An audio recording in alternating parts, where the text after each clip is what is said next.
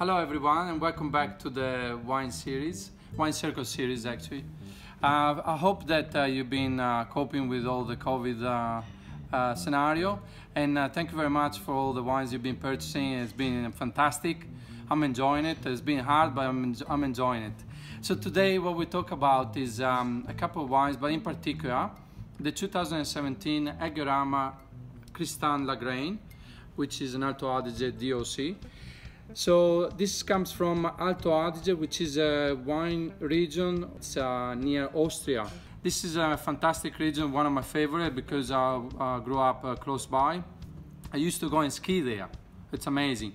So La Lagrein has a long history in this region and it's the best red grape variety of the region. And what you can find here is amazing uh, characteristics like plums, black peppercorn and absolutely beautiful palate weight. It's a full body. We got lovely acidity coming through and soft tannins. Uh, this is uh, $56 on our online uh, um, website. Um, and then on the other side, um, I also have a Reisegger, which is a Schiava with a touch of Lagrein. So Schiava is a very light style variety.